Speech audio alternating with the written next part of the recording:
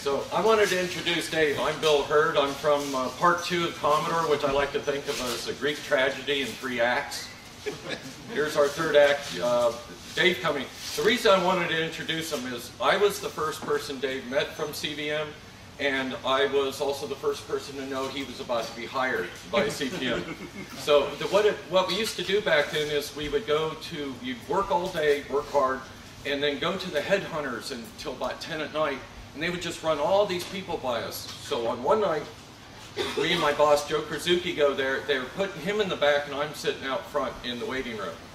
And in bops this guy. And I mean, he had diddle bopped in the door. He had all this youthful energy, hadn't burned him out yet and everything. And he's wearing a homemade shirt. So you figure anybody that makes his own shirt probably knows how to solder, too. So he sits down next to me. He's go, you here for the job? I'm like, something like that. That's exactly what I said. So then I'm like, I've got the magazine upside down or something. I'm like, so where are you working now? And he's, oh, I'm GE. So why are you quitting? Oh, I don't like killing people. I'm writing missile code. Well, if somebody said that to you in an interview, you'd be like, really? But he's telling me this in the front lobby of, of a headhunter. So the um, uh, at some point, he goes in, gets interviewed, and then he comes in to interview with me, and the look on his face is priceless as the long-haired guy sitting there said, we've met. so the one thing about Dave, see, I'm a self-taught guy, STV repairman, everything. I'm really bad at math. I'm from Indiana. We don't do math in Indiana. And so what I needed was somebody that could do the things I couldn't do. So the final test I had for Dave was I said, uh, you know, can you do a Laplace transform?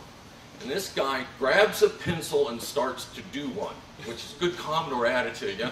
So I grabbed the pencil out of his hand, and I didn't mean now, but I knew he'd been fired. So I give you, ladies and gentlemen, the third act of a Greek tragedy, Commodore Part 3, What's Dead May Never Die.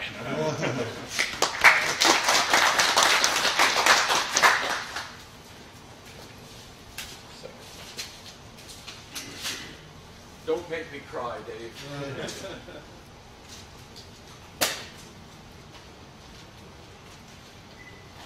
okay, so, yeah, Greek tragedy. Well, it was uh, summer of 80, 86 or so. I was, Bill, Bill was leaving if he hadn't left yet. I was trying to figure out how I was going to justify not also getting fired because there, there had been rounds of layoffs. Commodore was little sketchy at that point. Um, they'd spent a lot of money buying Amiga. Um, we hadn't seen any of that yet. So um, I, I, was working with Frank Palaia to on a couple dog and pony things, trying to figure out if there's any life left in 8-bit. And we created a, uh, there, there was, actually, Bill knew about this. There was an MMU that he wasn't allowed to use that was, uh, that could actually support 256. So we did a, I did a quick C256 hack of a regular C128. We got uh, Freddie to support it in software. Um, and then we had a different model that Frank worked on that made the Z80 go full speed. And we were proposing this as maybe something, and they weren't, they, no, management really didn't know what they were doing at that point. They, they had no idea. But um, so in parallel with all of this stuff, with Amiga getting acquired, there had been this other project called the Commodore 900, or as we called it, the Z8000 project. And there had been two different teams that really didn't get anywhere on it. But the third team actually kind of did. Um, that was George Robbins and Bob Welland and a few other people, a few software people. And the Commodore 900 had been Commodore's answer to essentially what the Amiga was. It's a higher level machine, 16-bit computer. This one was running an operating system called Coherent from a company called Mark Williams that was a Unix clone. And these were all Unix guys. And the Commodore 900 also had a, uh, it had a graphics, uh, megapixel graphics, that black and white screen that, that um, was running with a bit blitter chip that Bob Welland had designed and at least architected. And um, it was it was kind of a cool computer. It had it had a windowing system written by this guy Rico Tudor that was just wicked fast. It really really didn't do much but let you have a bunch of different shells on the screen. It wasn't it wasn't a full graphics environment, but it was wicked fast. And of course, because of the Amiga and Commodore's problems, the Commodore 900, which had been in development for years and finally got working, was canceled. So these guys had to figure out what to do. So they decided they were going to take on the Amiga. And they, so the Amiga 1000 was a little expensive to make because you had, you had a lot of, a lot of stuff. You had this, um, you had this Agnus chip and all these buffers around it and all these pals to control the buffers because the chips themselves weren't fast enough to control the buffers and it made it kind of an expensive system and kind of complicated and the these guys decided hey we can do better than that and they came up with the fat Agnus concept. And that was going to suck all that stuff into a bigger chip. As the biggest chip Commodore could make at the time 84 pins. Whoa. And uh, and um, and so the people out in people out in Los Gatos didn't think that was possible. It's not going to work. And in fact, they they weren't even 100% sure it was going to work. All the timing said it should, but they were they were being very cautious. So they actually had a separate project where they had the fat chip, which was just the fat that you could put next to regular Agnus. And but the fat Agnus worked, and so before you knew it, George and Bob were working on the Amiga 500 and I didn't really have anything to do. So in August of 86, they said, Dave, you're, you're the low end guy. Come and look at this computer that George has created, and you, you should probably take this over and let George go, and we're going to be taking over a project. So the German group, uh, we had, a, we had an engineering, a smaller engineering group in Braunschweig, and they had, they had decided, they had been working with um, some of our PC people to say we should build this Amiga that can run that, that can expand to allow IBM stuff to run in it as well. And none of us were crazy about that idea, but they, they had this whole Amiga 500 concept, only they had really just taken the, uh, the, the A, A1000 design and they had taken a, some of, this, some of the schematics that had been published um, for, uh, for building backplanes, building Zorro backplanes, and they put them together in this box. And it wasn't, it wasn't terribly well thought out, but it worked. And then they had, they, but they wanted more memory, so they had this really bad expansion memory that they had put a slot in there in there that was um, really just for this expansion memory. It was identical to the Edge on the Amiga 1000, and um, so we were going to be taking that over. So I was, you know, I was like, okay, I'll, I'll go in there, and I worked on the Amiga 500 for about a month, and it became pretty clear quickly that George just wasn't going to let that go because that was his baby, and he, he and, and, so they put me on the A500. So all of a sudden, I moved to being like, you know, I'm at like 23 years old. I'm like the high-end guy now. so, uh, so uh, I guess maybe I was 24 by then. But anyway, it was. Um, so I'm doing this high-end Amiga 500, and really, I was just following the A500. I mean, the, the Amiga 2000. I was following the A500 I was saying, okay, well, let's see what they do. And every, whatever George did, I did about a month later on the A12, on the A2000. But there was some other stuff. So, okay, so they had put they put a, a, lot of internal slots to match the connectors on the Amiga 1000. So there was the slot for the for the extra memory card, and I said that's kind of stupid. We don't need that because I'm going to put a whole megabyte on the motherboard um, because you can do that with Fat Agnus. So I put a. Uh, I decided that the, the one thing that was really catching on for the Amiga 1000 at the time was that people were putting CPU cards on the side. So I said, okay, we're going to we're to turn this memory slot into a CPU slot, and it, uh, we'd already decided that again with with the expansion bus, that was a bunch of buffers and a bunch of PALs, and I wanted to at least get some of that stuff into into a array, into a custom chip, to make the cost go down, and to and also make it just it's PALs are bad because you have to program them in, in production, so there's they're actually more expensive than you think they are because you have to have somebody putting the code into them, or you have to buy them with the company putting the code in it, which means you don't get you don't get the volume discounts that you want. So, and we were very very sensitive about price Commodore always because we wanted to be cheaper than everybody else and better in every possible way, and you know it worked out. But so anyway, um, let's see. So I was working on the uh, this, and I, I had decided that we should we should have the whole video bus not just the, the, this video slot they put in there was really just the Genlock slot. It was the same as the 23-pin connector on the back of the machine. And so I looked at it and said, you got it. We got to bring out the rest of the, the we had this whole 12-bit video bus, which doesn't sound like much, but it's better than the. There, there were four digital bits that went to that, and then all the analog stuff.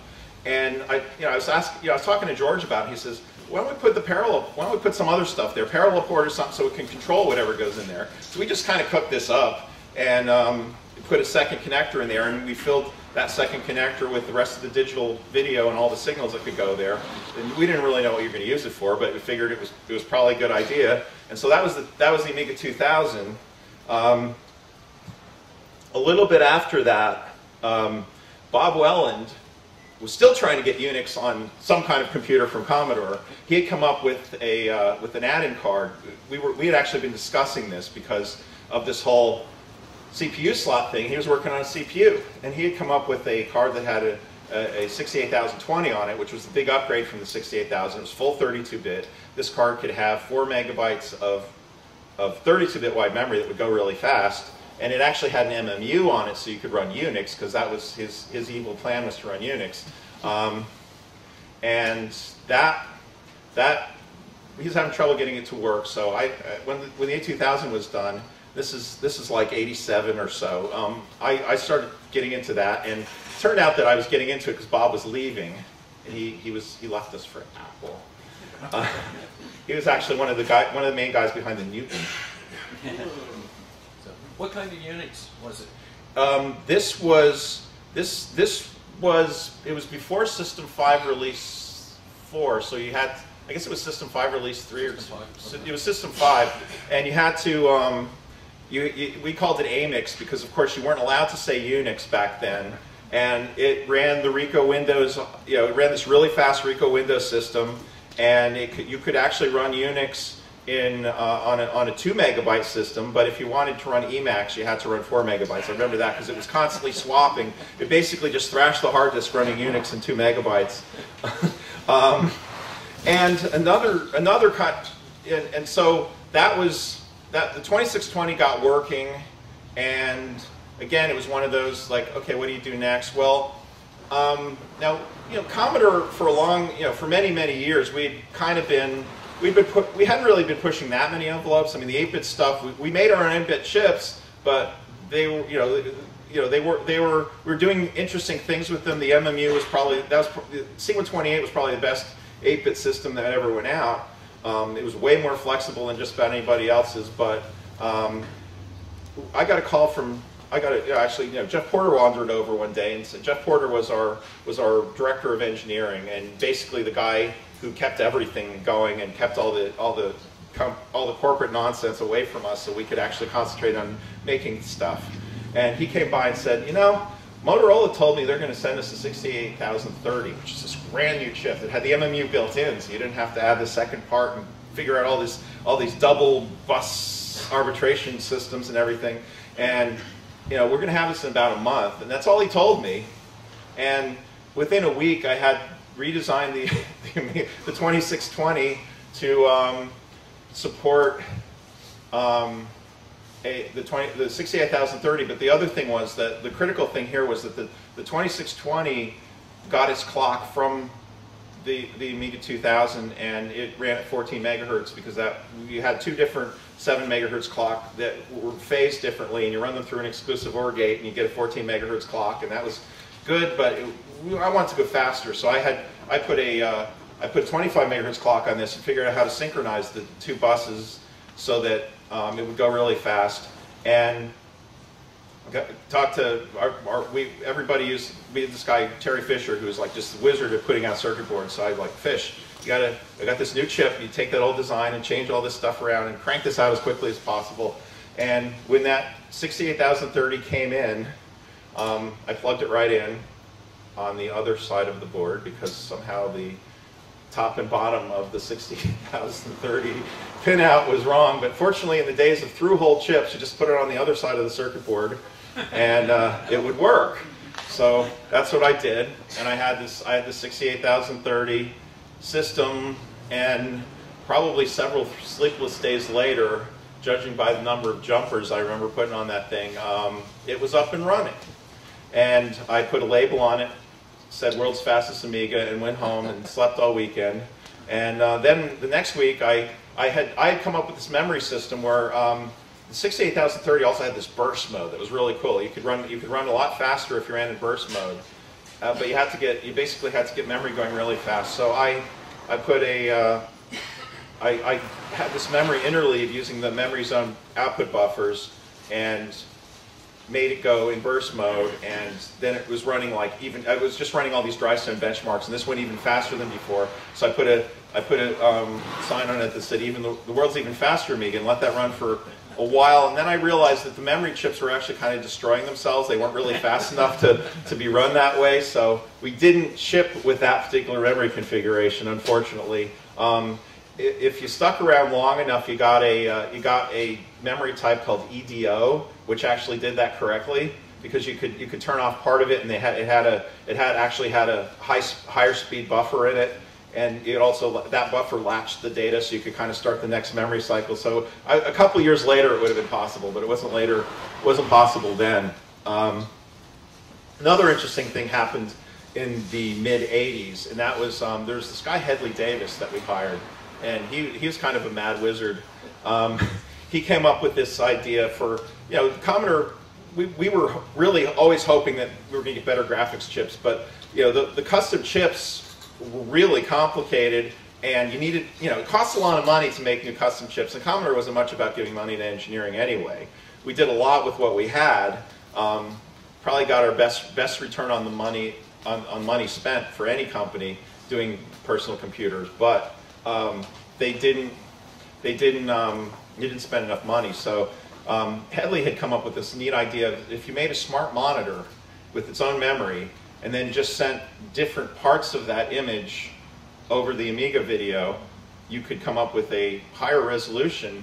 And it just turned out that that it all if you if you did things with the copper and everything, it all kind of worked because you could it, with with with the regular with the original chipset, you could have a screen up to 1008 by 800 that could still blit. And if you got EC, if you got the ECS chips, you could actually go to 1024. So Hedley came up with this mo these monitors that did that did two-bit color or two-bit grayscale. So it was black, dark gray, light gray, and white. Just so happened that we had we had gotten one of these NeXT cubes because we were always eh, almost anytime somebody came out with a computer, we get it in and take it apart but the software guys liked the NeXT so much because of the it had the nice big megapixel display with two-bit grayscale um, that they wouldn't let anybody take it apart. They wouldn't let me anywhere near it. um, I mean, I had taken apart the there was you know we had Radio Shack computers I took apart, and part of it was just to steal their really good manufacturing ideas, and part of it was to laugh at how bad they did stuff like they had capacitors hanging all over the place and blue wires and green wires and all this stuff in production units. You know, we weren't buying their prototypes. Um, you know, you got to feel superior in some way, and you know, it was it wasn't our sales or our marketing department that made us feel superior. So, um, so uh, he had come up with this monitor, and pretty soon everybody, I got one on my desk. Um, all the software guys were getting these, and that's a lot of what drove the look of Amiga OS 2.0 is to look really good on the Hedley high-res monitor and to steal some of the good ideas from from what you saw in the NeXT operating system. We didn't want we didn't want it as big and heavy as it was, but but um, so the other thing that we, that the NeXT didn't really inspire, but we were working towards that anyway. So um, around 1989, we started thinking about what's you know we really you know the, we had the Amiga 2000, we had the the 2500 series, so you know we had the one with you know the one with the 020 in it, the one with the 030 in it. Um, but we wanted to go next generation. We got to, okay, now we got to build a real 32-bit computer. So we started on the uh, on the Amiga 2000, Amiga 3000, and you know you just sort of knew what the name was going to be. I mean, wasn't that hard to add a thousand. um, but this was actually a big project, rather than just like one or two guys.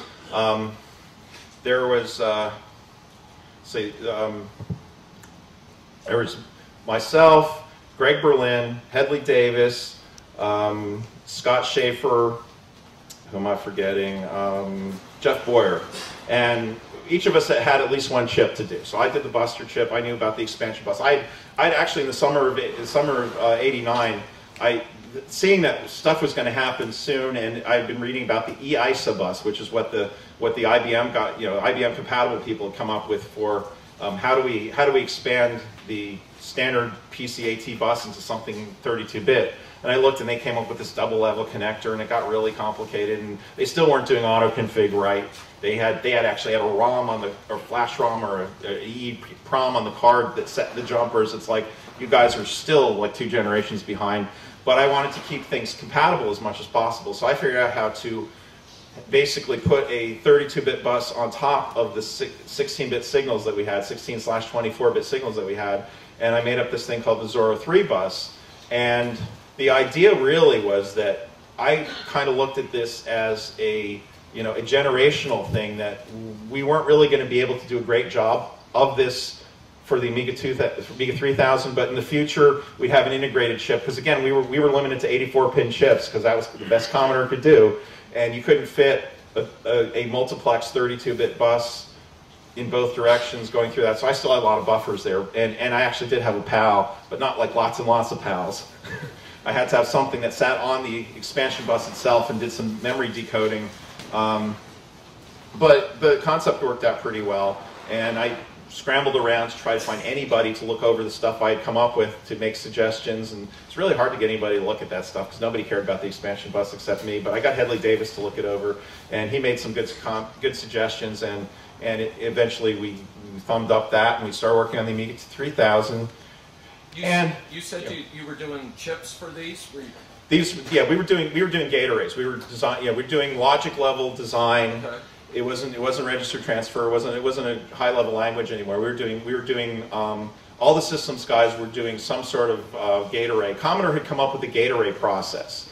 We had we originally had a thing called the channeled array, and then they switched to a sea of gates, which didn't work very well for a couple of years. Uh, but um, but so they had so they had a, a you know the, the what we call a custom chip is a full custom chip the typical one. That means that's a that's a that means that there's a there's a custom layout. There's they're they're designing things at the transistor level, and that's that's not what this is. This is where you basically just design the logic, and it goes into a standard chip. It's like it's like a big programmable chip, only it's not programmable. They could crank one out in a month, which was kind of nice because most companies can't give you a new gate array in a month, and you could do you could do fairly good stuff. We were running at 25 megahertz, which is about the most that these things could handle, and you had to be pretty careful about them. Not just they weren't just they weren't that fast, but it, it worked. It worked. Um, what were the chip guys? Were there chip guys still, or were they? No, there's still chip guys. Chip guys. The chip guys were actually working on some future stuff. They really didn't do for the Amiga 3000. The chip guys gave us a version. I sat down with George and the chip, some of the chip guys, Bob Rabel, and we we kind of I kind of told them how I wanted the memory, you know, how I wanted stuff to go. Oh, Greg Berlin was there too, and we decided kind of on how we were going to architect this. Because the thing about the Amiga 3000 is we are still using the 16-bit chips, but we wanted to have a 32-bit chip bus, so we had to make sure that that would work pretty well. Um, so when when Agnus hits the memory, it acts like 16. When when when the uh, when the A3000 talks to chip memory, it hits it acts like 32-bit, and it that worked. It was it was. Um, it, it was good. Um, so um, we also, of course, we also had Unix. The Unix guys were still around. Um, not Rabel, uh, not, um, not Bob Welland anymore, but um, uh, Johan George and Rico Tudor um, were, were porting Unix. And in fact, we had the, we had, we were now actually call, allowed to call it Amiga Unix because it was, uh, it was the, uh, the, when, when, they changed, they changed the, they made agreements with Sun and they started trying to trying to make Unix more of a one thing and not just like everybody's special own little Unix. Um, kind of ironic that that didn't work, but um, so anyway, um, we, we, we were presenting the uh, in in uh, 1990 in April we, we had this big thing in New York City to present the Amiga 3000 to the world, and we did. It was at the thing was called a place called the Palladium or something like that. It was a it was a, it was a really cool show. Biggest biggest debut for a machine I'd ever been at. I wasn't at the Amiga 1000 debut. I hadn't been doing anything for Amiga 1000. So um, this was April 90, 1990. Um, and actually, the, the thing was the hardware had been done for pretty long time. We were, we were still making some last minute revisions. I'd run into a situation where my buster chip wouldn't work with the, with the bridge card. Our, our boss, Vice President of Engineering, Henry Rubin, had really pushed this bridge card, the thing that lets you run IBM PC programs. And it had been designed in Germany and um, I remember specifically this, this one day where, okay, the bridge card wasn't working with the new Buster chip. And Henry Rubin was all, oh, he was very, very panicky. And he called, he summoned the Germans. It's like, give, give me a day. Because the chip had just come in that day. He's like, give me a day. He's like, he's like, um, that's uh, no. I'm, I'm summoning the Germans, and I had to go. I think. Oh, I remember. I had to go and get a root canal that that day, so I couldn't stick around. The Germans weren't even going to get there, until, you know, until later, and um, I, I, had to, I had to go get a root canal. So I went and got the root canal. But while I was driving there, I realized what the problem was. I was, you know, I'm driving down. I, I had the stupid Fiero at the time. I was going like 90 miles an hour down the highway, and I'm, I'm thinking about it. All of a sudden, like, I know what the problem is. So I went and got my root canal. I came back. Germans had apparently arrived. They saw that nothing was going, and went out to dinner. and I wasn't there, of course. So I'm, I'm there at like nine o'clock at night, and I, I, I made this little fix to. I think I put it. On, I think actually I put it on the back plane of the of the Amiga 3000, the riser card and the problem was that the, it was the ready signal versus the, uh, versus the OVR signal. It was the way you controlled DTACK. And um, the Buster chip was doing something that, that they hadn't thought of. And I'm not sure, you could argue either way, whether I was wrong or they were wrong, but it was something clearly had to be fixed in the Buster chip. But so I, I fixed the backplane, and then I then uh, immediately bridge card came up, it was running, and MS-DOS, and I put a little shell script in there that just looped or looped and said, you know, and said something, I don't know, something pithy. And then uh, I went home, now, these guys had no idea I had even been there. So they get back from dinner eh, or whatever. I don't know when they came in next. I didn't come in the next day. I was really beat. And it was just working. And like they, they had no idea why it, why it had started working. So that was, uh, that, that, was, that was kind of the way things, you know, I, I always like doing things like that because they know it's mysterious man comes in and fixes things. So um, would you rather have had a root canal or meet with the Germans? Uh, the root canal, yeah, the root canal was actually, especially the Germans who were working on the bridge card. It was just, you know, I, I mean, because I was again, I was, I didn't like the idea of the bridge card because it was kind of stupid to run IBM stuff when you had an Amiga, but that was just me.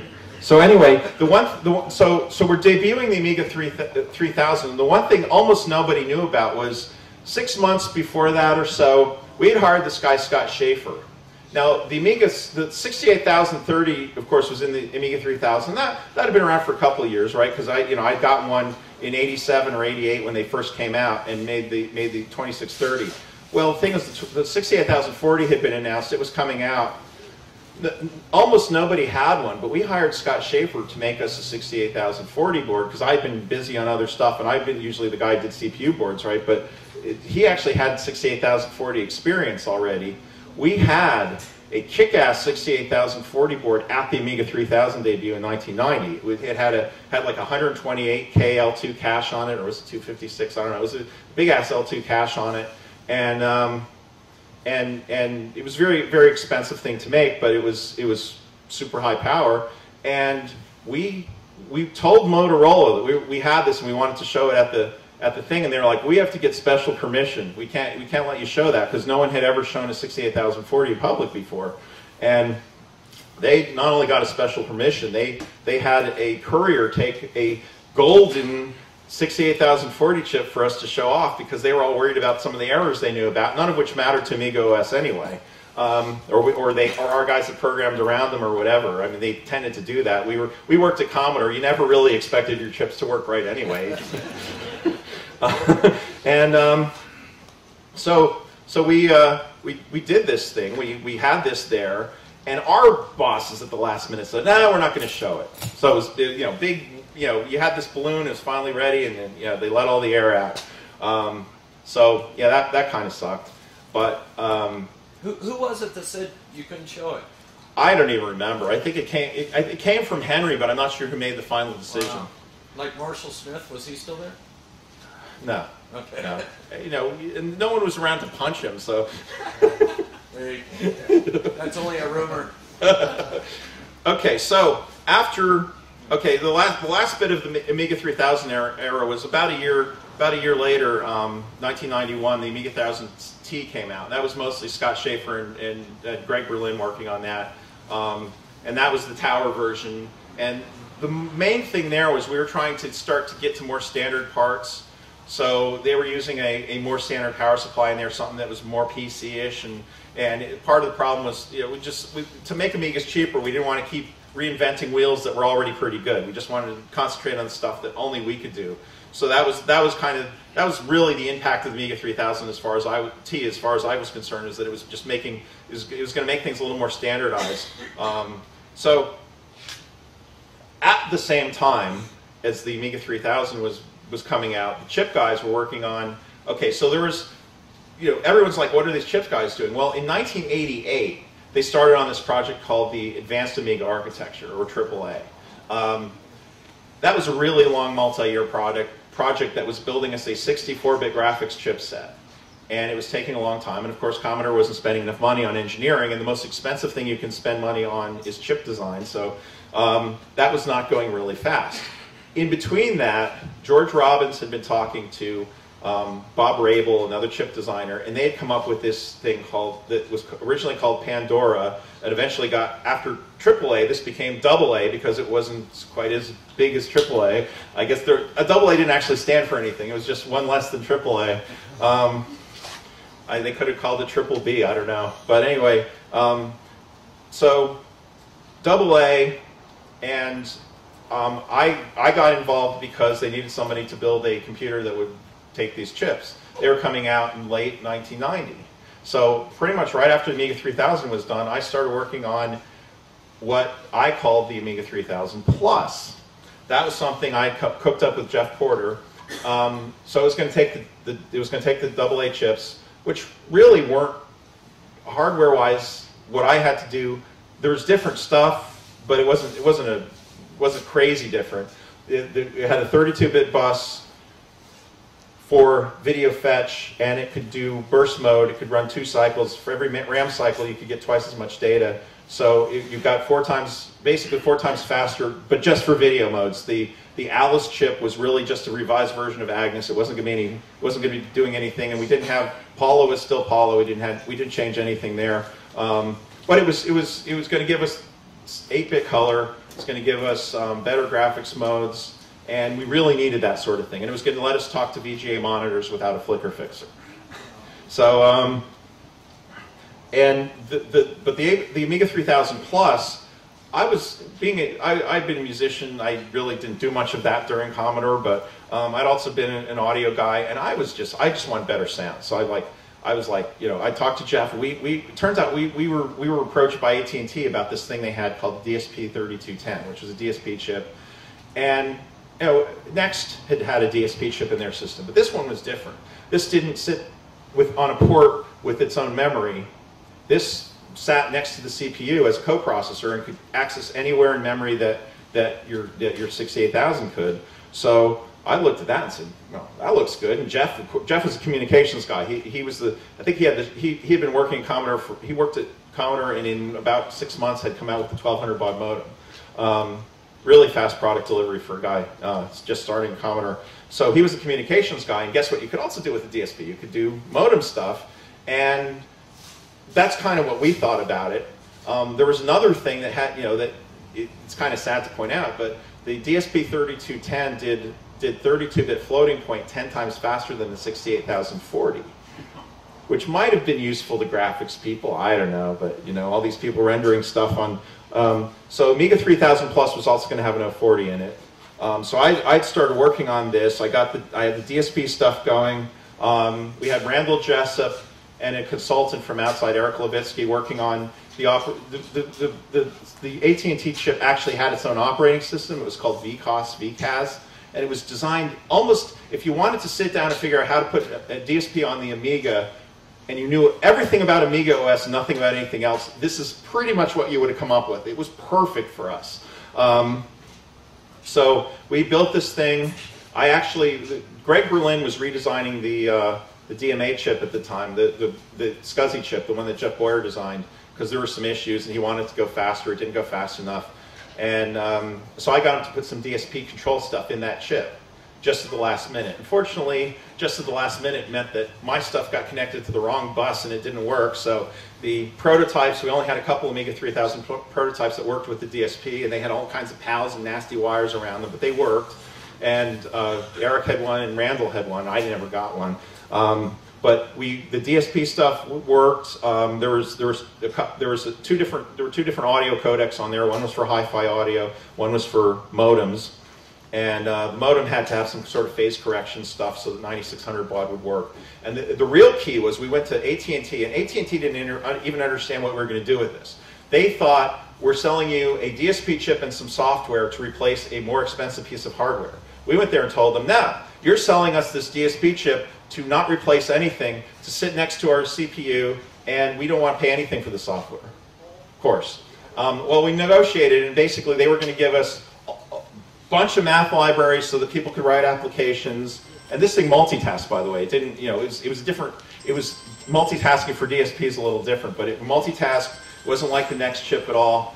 And um, we were going to get almost everything, including up to 2400 baud modem in that package, and then we could sell other stuff. Other, they had some of their special sauce stuff they wanted us to pay more money for. So fine, those would be add-on software packages. Um, and this was going fine until uh, then there was there was one other there was one other computer that we were working on. Um, there was this guy, a junior engineer, Joe Augenbraun, who who had come up with this idea that, that everybody loved with, to finally get a mid-range computer going again. So we had A500, we had A3000. What goes in between? Well, there's room. There's room for something in between. So Joe had come up with this thing that we just started calling the, the A1000 Plus because it was going to be it's going to be a 68020 processor. It was going to this is in like 1991, 1992. It was going to run. Um, it was going to have a, its own kind of CPU slot so you could expand it a little bit. It was going to have a little bit of fast RAM built in. It was going to sell for under $1,000, which if, you know, Amiga, Amiga 2000s were, you know, two or $3,000. So it was, it was good placement. And then kind of all the shit hit the fan. Let's put it, put it, put it in, in the proper terms. Um, the, uh, um, well, you know, our, our our chairman of the board, Irving Gould, was never really happy with much anything Commodore ever did, other than pay him $3 million a year. Um, so he went looking for people to blame, and it was usually the marketing people. And you know, if they weren't selling enough, that might mean something. And you know, it wasn't like they came to us and asked for hardware that we couldn't deliver. We usually asked them what they wanted, and when they had no idea, we gave them something. so. Uh, um, they came, you know, so so he came and basically replaced Henry Rubin as the head of engineering, and with this guy Bill Sydnes, and um, Jeff Porter was sort of pushed out of the way, and they brought this other guy, uh, Jeff Frank, in to uh, to uh, be the director of engineering, and their mission for the first six months was pretty much to make the make the the, uh, the Henry Rubin Jeff Porter uh, administration look bad. They didn't have really a whole lot of other plans other than there's this thing, there's this A600 concept. Okay, so after the A500, George Robbins was working on some additional, they had a couple versions of the A500. Eventually he decided he wanted to make something that was even cheaper. So he had come up with this idea of an A300. He had, he had this really brilliant hack. I don't remember how it worked, but it was going to have a built-in gen lock, And it was going to be, like, the gen lock was going to cost almost nothing and it was lower price than the A500 because it was going to have it didn't have built-in drive. You had to add on a drive, and you could. But by then, you you know you'd have the option of adding on a hard drive or a floppy or both or or CD-ROM or whatever because those things were all coming up. And um, they so they took the A they took this A300 design and started adding all kinds of crap to it, and eventually came up with the A500. That's why it had it, had the uh, the IDE slot or no the the uh, PCMCIA slot on it, a few other things. It was supposed, that this project, whatever it was, was supposed to be five, up 50 or $100 less than the Amiga 500. Turned out to cost $100 more than the Amiga 500. And um, our, our friend uh, Bill Sydnes not delivering was fired over this. The, the biggest mistake they made at this time was that the Amiga 500 was canceled even though it was still selling really well. I mean, it wasn't the most current thing, but the problem was the Amiga 600 didn't give you anything you didn't get with the Amiga 500 except that everything was soldered down inside so people couldn't hack it as easily. And everybody loved hacking Amiga 500s. You couldn't, there was no, the CPU wasn't in a slot anymore and it had this memory card add-on thing that nobody knew what to do with anyway because there were no drivers plus it didn't support the full PCMCIA that they wanted. So it was, it, it was kind of a boondoggle in that they cut off this one machine that was selling really well and replaced it with something that nobody wanted. Uh, so, um, Okay, so the other thing that happened was now they needed they they they, they sort of liked the idea of this mid-range computer, but they didn't. Um, I think Joe had already left by then. Um, after the Amiga, after the uh, A1000 Plus was uh, was done. So they decided they were going to make a, a stripped down Amiga 3000. Um, Greg Berlin was, was responsible for this. Greg and Scott Schaefer were working on this. And um, they, it was dubbed the Amiga 2200 or something like that. We all called it the A1000 Junior because um, the thing about Bill Sydnes, he had worked at IBM and he was the guy responsible for the IBM PC Junior, which at the time had been their greatest failure in like the entire history of IBM. Um, I'm not sure they had a better one after that, but that, up to that point, that had been their greatest failure. So, so everyone called it the IBM PC Junior, which I'm sure just rubbed him the wrong way. But um, I mean, we call it, excuse me, we call it the A1000 Junior. Um, so there's this weird thing about Commodore. So this was actually built, and there's this weird thing about Commodore that um, it's the, the, the sales companies decide what they're going to sell all throughout the world. And if they don't order something, it basically doesn't get made. And not a single one of them ordered an Amiga 1000 Junior or 2200, whatever you want to call it. Um, there was a big brother to that called the 3400 that had the regular configuration of the Amiga 1000. It was, I mean, Amiga 3000. It was in a different case. I don't even really know what it was for, other than it was basically the Amiga 3000 with the SCSI taken out. Um, Wasn't there a memo or something that said the next person that calls it the Amiga Junior is fired? I don't. Uh, there might have been. I never pay attention to that stuff, but but um, there might have been. Um, so anyway, uh, actually, I have it written down here: Amiga 1000 plus plus stupid equals Amiga 1000 Junior. Amiga 300 Amiga 300 plus plus stupid equals Amiga 600. Um, I just that was my notes. Um, so so so actually, what happened was so, so um, the, the the the A3000 plus some of the A3000 plus stuff was was in all the was was going into now that they realized that nobody wanted another ECS machine, which is what the what the uh, Junior was, um, the the the double A, the A3000, A3400, whatever they're going to call it, um, got double A and became the A4000. Um, while G Greg was working on these lesser machines, he told Scott Schaefer, build us the cheapest 040 card known to mankind because he's like, we can't, we really can't release another 030 based computer. So he was at least going to have an upgrade in, in mind that didn't that didn't cost a mint like this really good card that we made. So they built that module, and that's that. Those two pieces, the upgraded four slot machine. The, the upgrade was adding Zorro 3 and a few other things that made it a little bit more like an A3000. And then that 040 card, and it had the double A chips and all that, and that became the uh, that became the Amiga 4000. And um, so, to put in perspective, the the A3000 Plus first booted in graphics with graphics working and everything in February of 1991. We were hoping to ship it probably within a year. Um, the actual shipping of the Amiga 3, Amiga 4000 was fall of 92 because of all this delaying and screwing around with things that nobody wanted. And everyone in engineering knew that nobody wanted. Even the people working on it knew they didn't want it. Uh, they did their best, but you know, you, you, if, if, you're making the wrong thing, you're just making the wrong thing. Um, the one good thing that was happening at the time was, was uh, George Robbins, Brian Fenimore, and some other guys were working on the Amiga 1200, and mostly because, for whatever reason, management had been concentrating so much on doing the uh, do, doing the high-end machine wrong. They weren't paying too much attention to the low-end machine, so that was done pretty good. The 1200 was a great design. They actually did a whole gate array Gayle that did kind of everything you needed to do. It was, it was what Gary did, only it was more so because they actually they were they were actually allowed to do it outside of the company, and they had a bigger package. Um, so that so these both came out in 1992. Um, there's some other stuff that was going on in the Amiga world and everything. Um, so in, uh, in 1990, this little thing called the Video Toaster came out. And it actually came out for the Amiga, for, for the Amiga 2000 because nobody, of course, knew that the Amiga 3000 was coming and you could kind of squeeze one into Amiga 3000.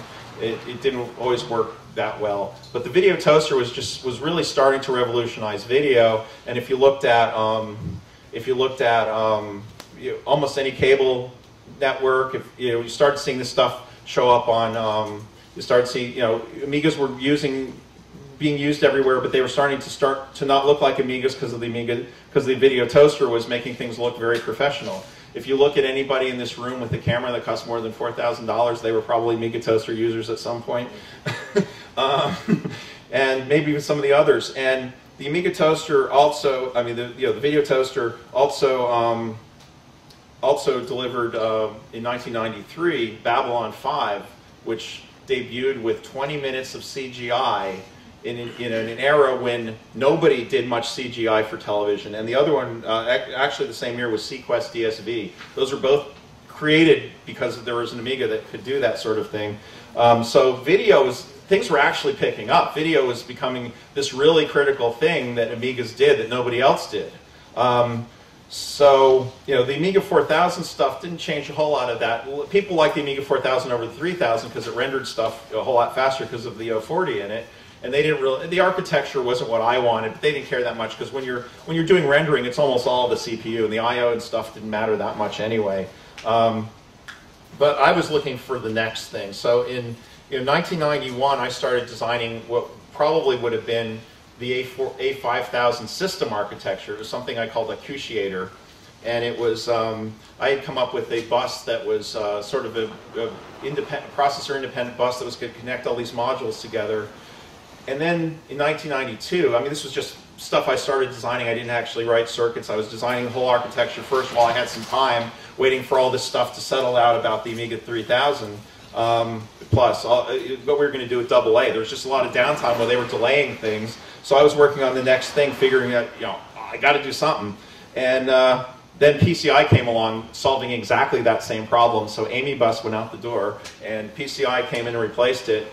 Um, let's see, I had also designed um, a, uh, because of the A4000 not having really fast uh, SCSI, I designed an A4, uh, I designed a Zorro 3 thing called the A4091 that had the best SCSI chip we had ever used on it and we we actually licensed that out for somebody else to make because Commodore wasn't doing so well, and um, we were we were a little concerned about um, biting off more than we could chew anyway. So I just designed that, and we were able to license that out to a third party who made it, and it was the fastest SCSI we had. Until the other thing that came out a little bit later was the Amiga 4000T.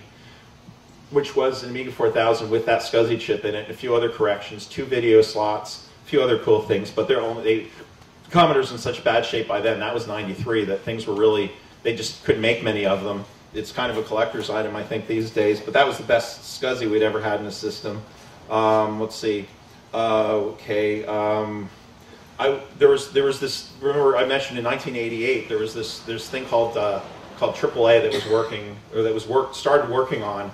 Well, in about 93 or so, they were actually getting chips back. So they they contacted me again and said, you got to make you got to make a board for these. So I um, I created a a motherboard using a A3000 parts and a whole lot of really fast PALs um, that was called Nyx, and um, so it had it could it could support either a 32-bit or 64-bit AAA system.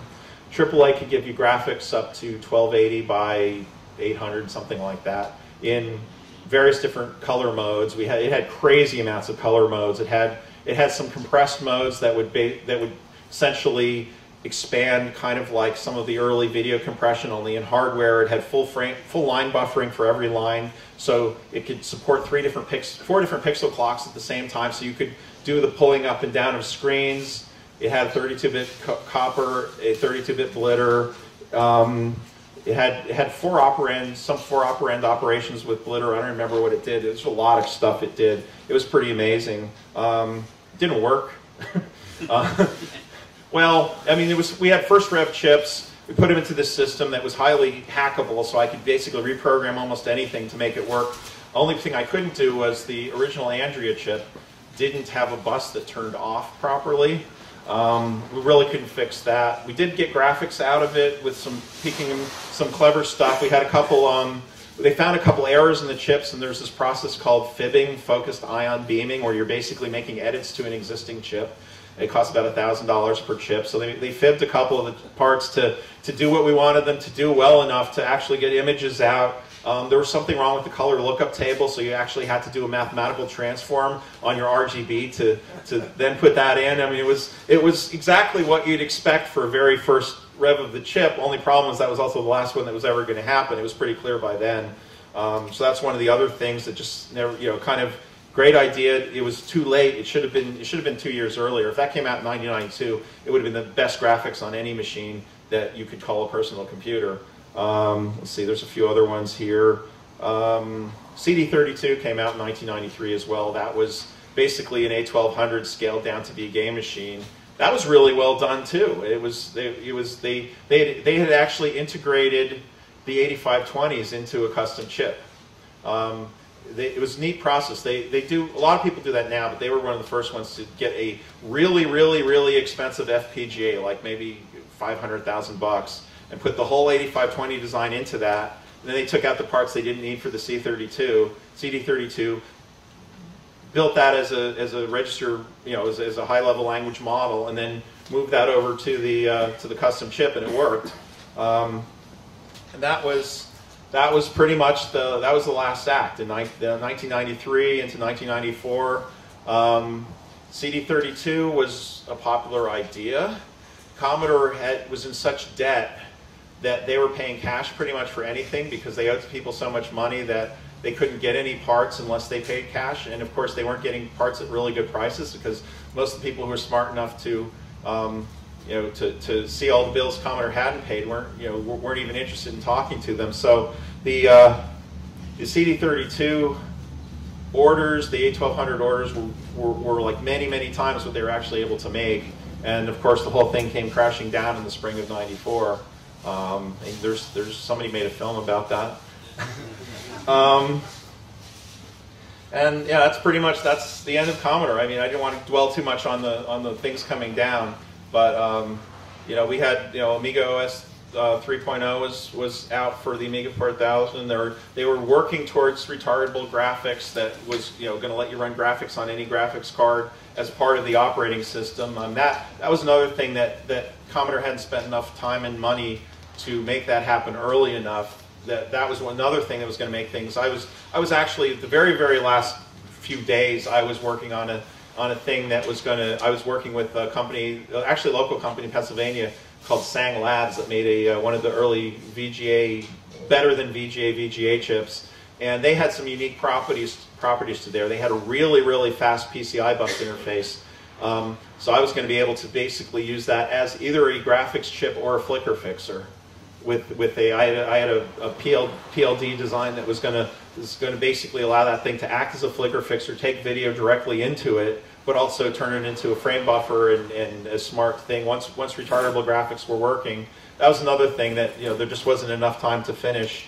So um, that, that's that's pretty much it. That's that's the uh, the last few years of Commodore, and uh, that was the last last nine years. I mean, we were you know. Some people thought that you know that after after the 8-bit stuff, Commodore's really headed downhill. But for a long time, there was an upward trajectory. We were, you know, we were getting into things. You know, the gaming in Europe and the uh, the video in, in the U.S. were, were uh, really taking it in new directions. And you know, anytime we came out with a new model of the high-end stuff, we the same people went and bought the same one. So we had a guaranteed, you know, 150, 200,000 unit sales right off the bat, and the Amigas in Europe were selling, you know, in, I think they sold one and a half million at the peak in one year. So um, you know, it wasn't it wasn't like they weren't trying. I mean, you know, it's just you, you have to you have to spend money and put it in to, to keep things going, and otherwise you fall behind no matter how diligent your engineers are because you know we you know we work in adrenaline and coffee and stuff, but um, we can't you know some things actually have to be paid for. I can't just produce, I can't 3D print my chips. If I could, maybe Commodore would still be around. But anyway, that's that's all I got to say about that. Was the, the, oh, okay. the Commodore 65 was I mean, that fitted in somewhere in that time frame as well. There's one in every crowd. Uh, we don't talk. With, nobody understands why there was a Commodore 65, other than there was a guy nobody wanted to work with, and they kind of let him do whatever they wanted, whatever whatever he wanted to do in order to not have to work with him. There was absolutely no possible reason on this planet why there should have been a Commodore 65. Yeah. I, I heard that Apple invented the home computer. that's that's false information. so I was wondering, while you guys are doing 1000s and 500 pluses and 3000s and dithering this and all that, yeah. what was Apple doing? Apple actually, Apple was making Macintoshes. Apple, Apple was the actual, actually, Apple was the big beneficiary of the whole thing we did with AT and T. Because even though the Amiga 3000 Plus didn't work, didn't get finished, didn't go out with the DSP in it. A year later, Apple went to AT&T asking about DSP chips, and AT&T, because me and Jeff went to went to uh, AT&T in Allentown and told them how they had to sell this to us. Um, it was all set when Apple got there. AT&T already, you know, they had already been schooled. They they are, you know, I'm sure they charged Apple more than they charged us. They probably got ten dollars a copy for that math library, but they they were already they were already being told, um, you know, they'd already learned how how to sell this stuff. So Apple got that, and um, Apple they even came out years after the Amiga 3000. They even came out with an OK 68030 line uh, product called the uh, the Apple the Mac 2 FX. The only problem was none of the good stuff ran under uh, Mac OS. You had to go to Unix to use the DMA for hard disks and things like that. So Apple was still way behind. The uh, they, got they got fairly good hardware about the time they switched over to x86, mainly because they weren't really designing anything anymore. It was just an off-the-shelf Intel chipset. Dave, what was your opinion of the CD-TV and Carl Sassenrath? Carl, Carl's a, Carl, Carl's another one of those mad wizards. I, I have a lot of respect for Carl. And, and CDT, the CDTV was a good idea. Um, it, you know, I actually probably should have put that in there too. But CD, CDTV was that came out in 1990 or so. The CDTV was um, it was actually the, the thing I liked best about it was it really pissed off Philips because they had been promising this thing called called CDI for years and not delivering it. And like in you know in, in one stroke we beat them to it, even though they had they had been designing it for years. Um, I thought it was a great idea. Um, they did it right. A lot of the things that you want in a personal computer, you have to do different for a living room appliance. And even back, even back in the Commodore days, we had we had poked around the idea of we had a lot of really good ideas. We you know we had this um, uh, this guy Terry Ryan had a thing called the PIM, which was a kind of a little bit like one of these, only with a CD um, that you'd carry around and have all your information with you. And we had a uh, we had some ideas for living room computers, but we didn't we could never quite figure out exactly what to do with a living room computer. But you know, I mean, the living room computer became a big thing because that's all your game machines now, really just living room computers. I did some living room computers at, at companies later on. And but the CD32, CDTV rather, CDTV, CDTV Plus, um, that was kind of the first living room computer. That was a real full-fledged computer that you thought was an entertainment appliance. So it was it was a great idea. Time? Jeff, do you have a question? Uh,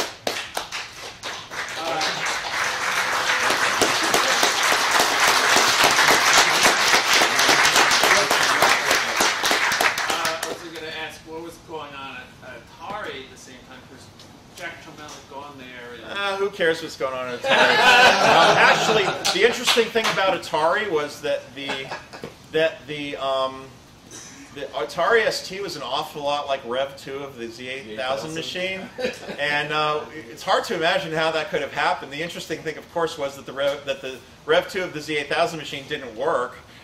Well, we, we couldn't prove that it looked like it because they shredded the schematics before they left, so we actually didn't know what a Rev 2 looked like by that time. So time. they copied something that didn't work?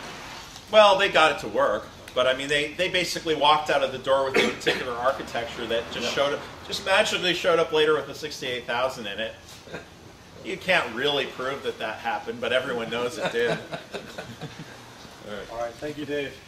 Good job, man. Thanks. Um, thank, that, Dave, that was awesome. We now have the full history of Commodore.